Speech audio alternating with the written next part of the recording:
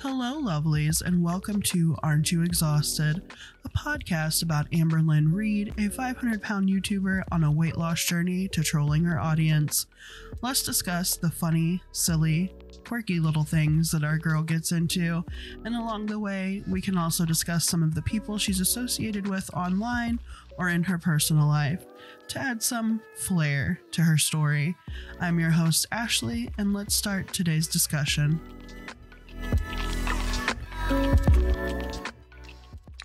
All right, hello, and welcome to another episode of Aren't You Exhausted? I'm Ashley, your host, and joining me again this lovely Saturday evening is my husband. I mean, technically, I can say that now as we just filled out the paperwork the day before. So give him a little yellow, Liam. No backing out now. We signed paperwork. I mean, technically we could back out, but no, I'm very excited.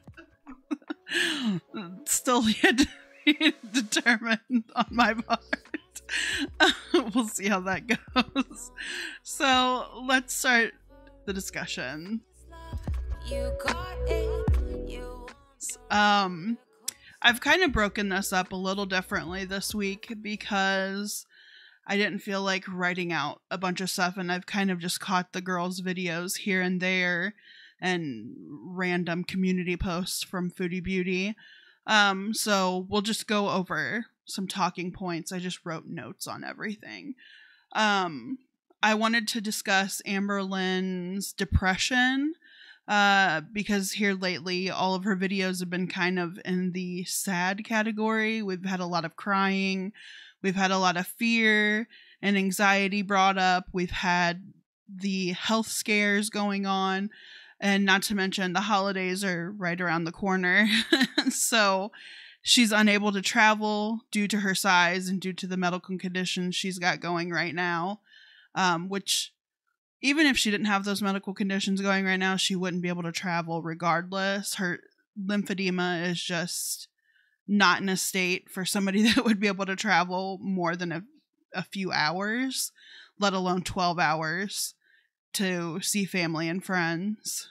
Um, I know I discussed this with Liam uh, earlier in the week when we had watched one of her previous vlogs, but I think he even watched the Q and A with me. Yeah, I watched the Q and A. I heard bits and pieces of it, and it's just, I mean, it's just constant whining and complaining when people are giving her she wants this she wants sympathy which okay understandable. You made a youtube channel all about yourself. You want sympathy. But the sympathy that she wants is so surface level because the true like true people who care about you are actually going to want to know what's going on and want to try to help but she doesn't want that. She doesn't want people asking questions. She doesn't want people giving advice. She just wants people to say i'm sorry i'm praying for you or something like that. She doesn't want any actual help or advice.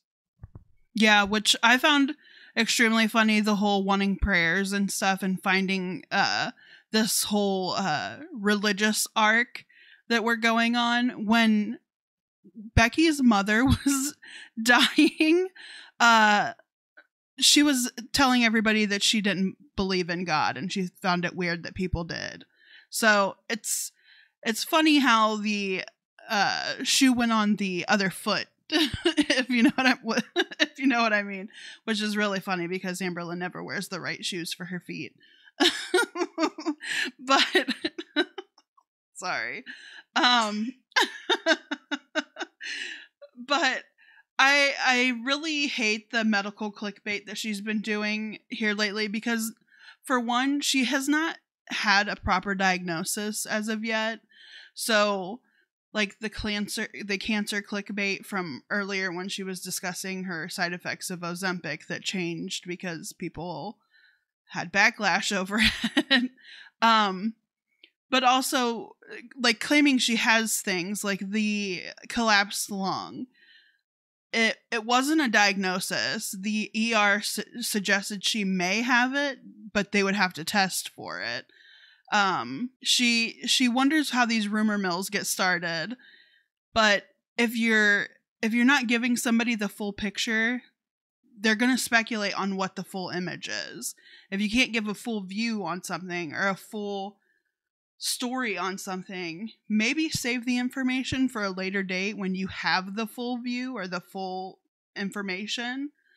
At least if you don't want people to discuss their opinions on what they think the situation or the possible diagnosis is. Yeah, I mean, we just we this is kind of like what we were discussing where it's just like she doesn't want anybody worried. She doesn't want people being like, "Oh, what what what diagnosis?" she's like, "Well, don't don't ask me about that. Don't ask me about this or that." I mean, she just wants people to watch her videos and just take it at face value and treat it like entertainment, but the truth is it's not really that entertaining. Yeah, and also a lot of the time she she just sits there and says she's going through stuff. We know you're going through stuff. You're depressed over this is like the 10th year on YouTube of having a weight loss channel and you're larger than what you started out as and you keep gaining and losing the same 100 pounds throughout all of this. So, of course, it would be depressing. Yeah, I mean, you know, honestly, if you add up all the 100 pounds that she's lost and don't like add the ones that she's gained, she's a very successful weight loss channel. So, I mean, she should be proud of herself. The only problem is she's also a very successful weight gain channel, and therein lies the issue, really. Yeah.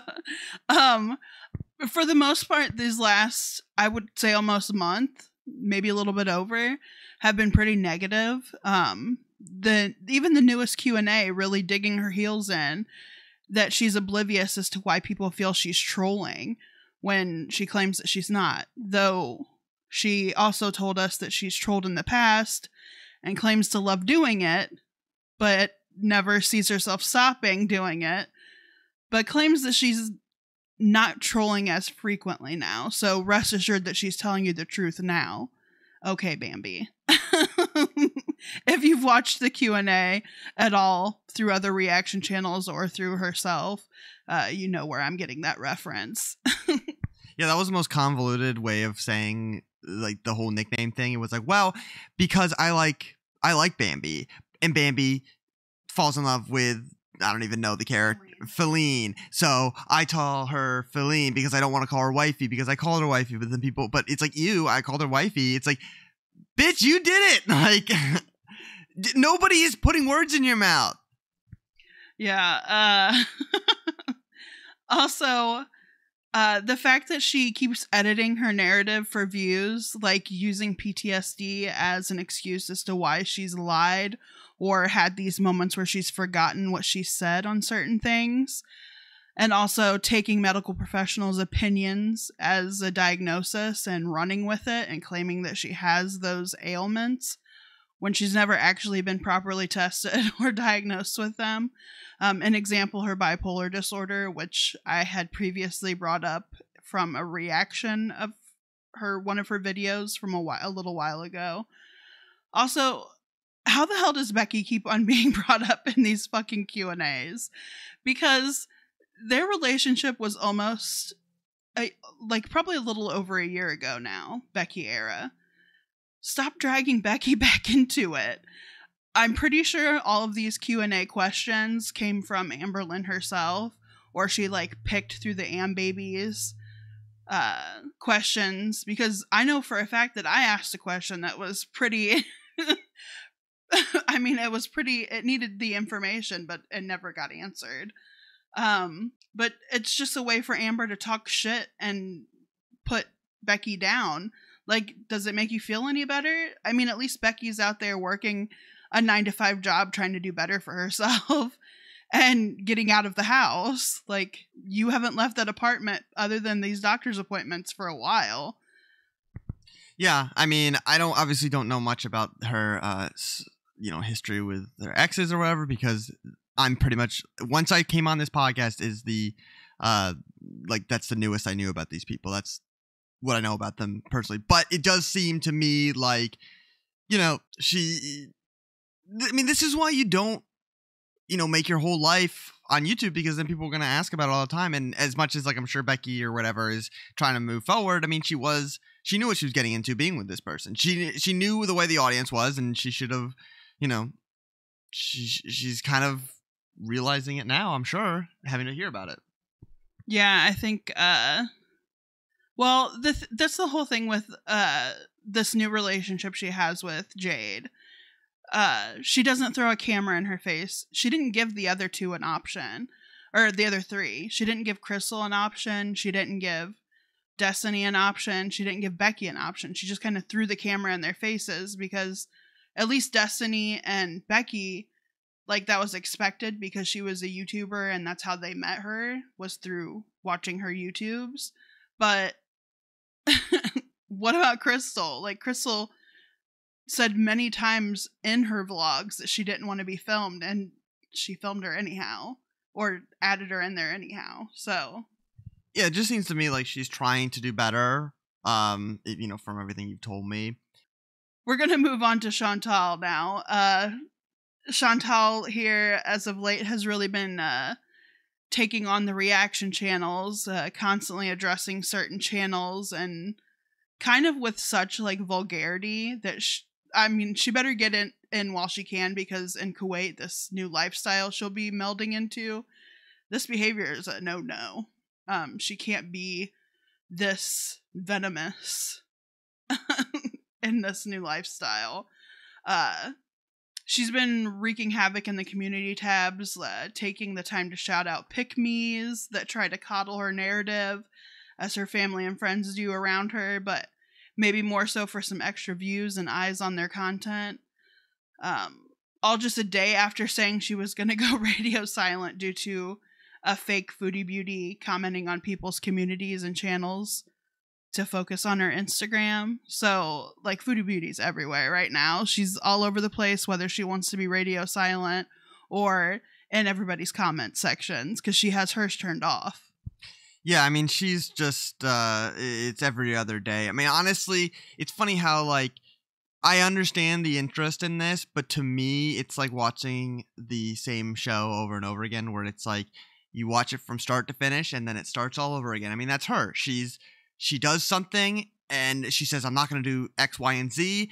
About a week goes by and she sticks to what she said she's going to do. And then lo and behold, X, Y, and Z. I mean, this whole new arc has just been I'm done with YouTube. I'm done with, you know, smoking. I'm done with, you know, anything like that. And then about a week goes by, if that. And then she's on live stream, YouTube, smoking, whatever it is it's just you know it's it's mind boggling like I, I get the i get the interest but to me it's just like it's just somebody who is like uh, people do this all the time they say stuff and then you know they don't really mean it. I mean, at New Year's resolutions, that's essentially what it is. It's saying you're going to do something and then nobody actually follows through with it. The problem is, not everybody puts it on YouTube and uh, is held accountable by, you know, thousands of people and and most people try to stick with what they say they're going to do for more than three or four days. So th- therein lies her biggest issue, I think, uh, as a broad stroke. Yeah, what's funny is it didn't even last a day where they're saying that she was going to be radio silent. Um, also, there is questioning of if uh, Salah, her Kuwaiti prince, Charming, is a scammer or not because I I guess it's been found that a lot of Kuwaiti men have been scamming Canadian people for visas for Canadian citizenship. Um, I don't know whether or not that's truthful or not. I'm just throwing it out there into the world that that's a possibility of her missing the red flags. But also, if you go on the Kuwait subreddit, which was brought up by another reaction channel, that they uh, saw that somebody had posted as Foodie. Um, well, not using Foodie's name, but using the scenario that she's in, um, asking if she would be able to stay with, like, stay the night with an unmarried man in Kuwait. Uh, and asking for like things to do while he's at work. and everybody was like, there's a lot of red flags here. yeah, I mean, if anybody here has ever watched 90 Day Fiance, uh, you know, me and Ashley love watching together. Uh, I mean, this is pretty much par for the course where people come over and they think that everything is just like it is over here in America or Canada or, you know, any place that's kind of more lax in religious views. Uh, but they don't realize that um, what it really is like to live in a place that is, you know, run by religion. Like you know, you can you can talk about America and how we are, you know how, how we're run by religion but we're a lot freer than other countries. And it's it is a culture shock when you go over to some place and yeah i mean she's gonna have to follow the rules or she's this is not either gonna work out or it's gonna get bad. I mean i don't i don't know but if she thinks that she's gonna go over there and charm him uh, into giving up everything that he's believed in for his whole life for a, a chance with her boy she's got nothing coming And then uh, I did a little bit of digging around, and through some research, I found that in Kuwait, it's actually not permissible for a Muslim man to marry a woman who isn't a practicing Muslim. Uh, she either has to be Christian or Jewish, and she must worship Allah as her one true God. Also, most Muslim families will look down upon lewd behavior or women shown to be promiscuous, which could mean a bit of trouble with the domestics should the wedding go through and Chantal be subjected to family gatherings on a regular basis and being expected to clean, uh, be a modest wife that she signed up to be for her prince.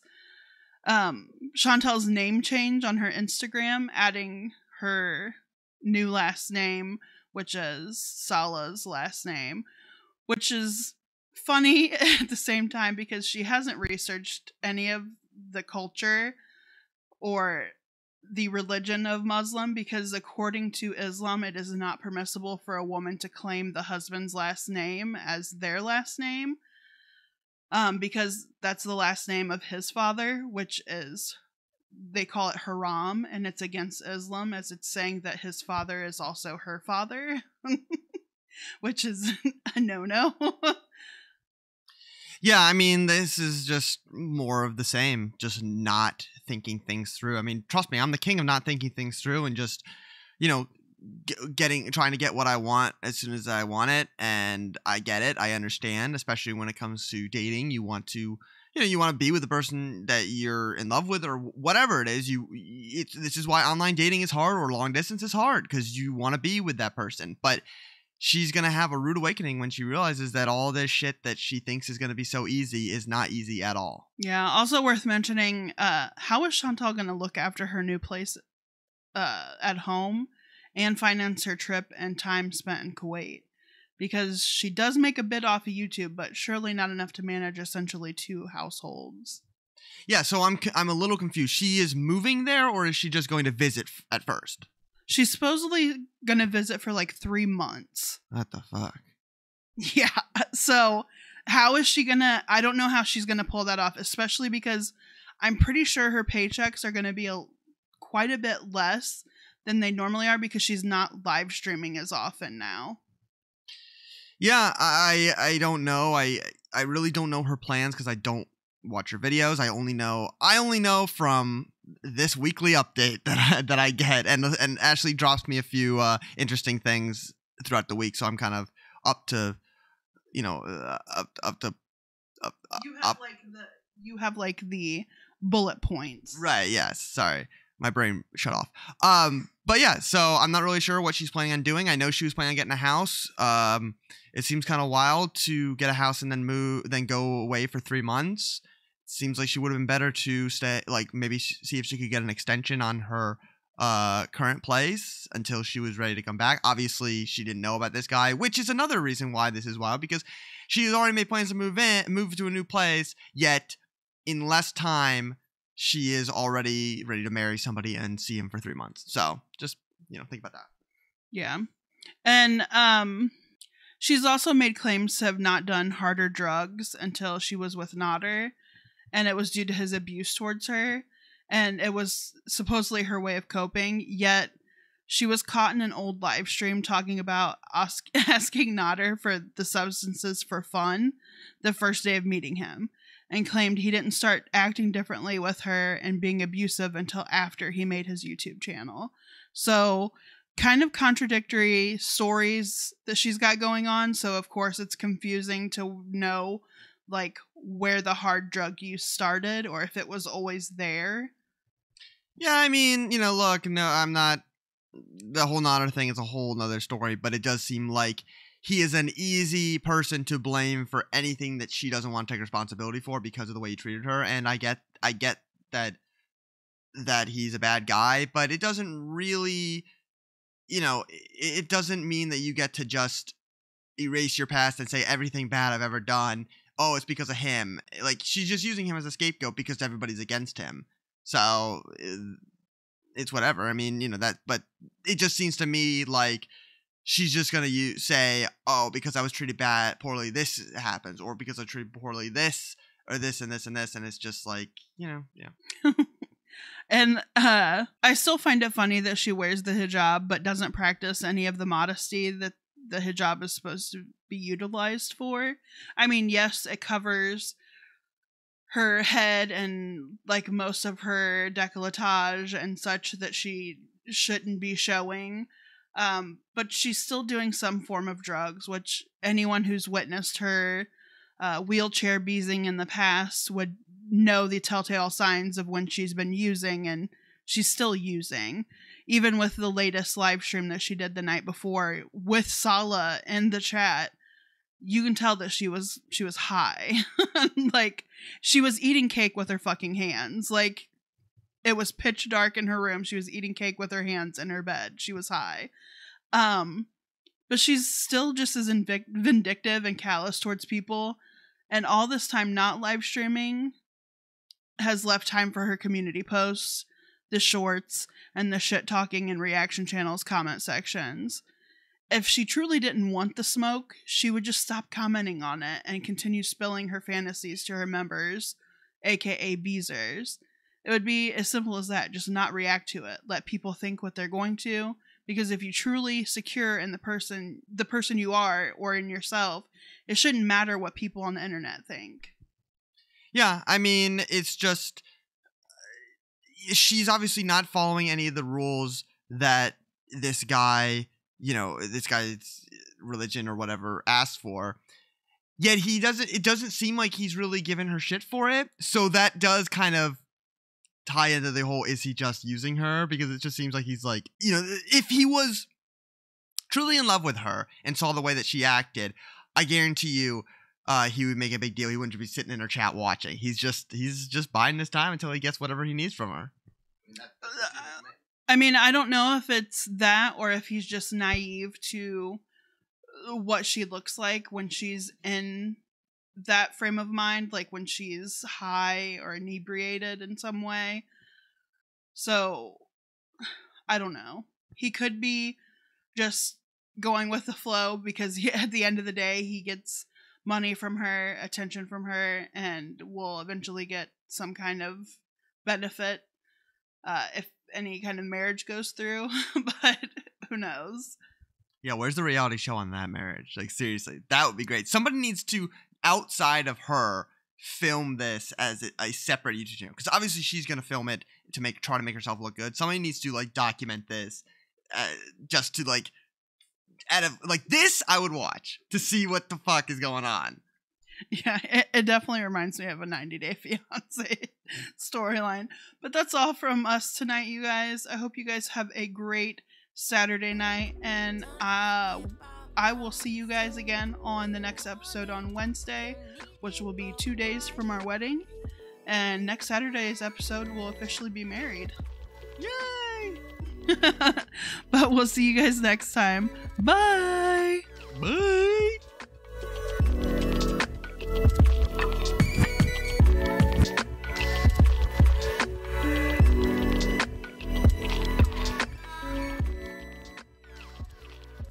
If you want to help support this podcast, please subscribe, like, or leave a comment.